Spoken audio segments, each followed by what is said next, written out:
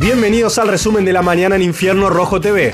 Todo lo que tenés que saber para arrancar el día con la mejor información.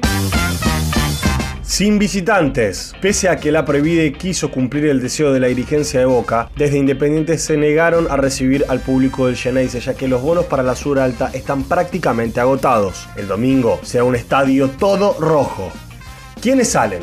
Para que entren Martín Benítez y Maximiliano Mesa ante Boca, Ariel Holland debe modificar el 11 que cayó ante Lanús. El DT tendrá que elegir entre Fernando Gaibor, Pablo Hernández y los dos Romeros para que salgan del equipo.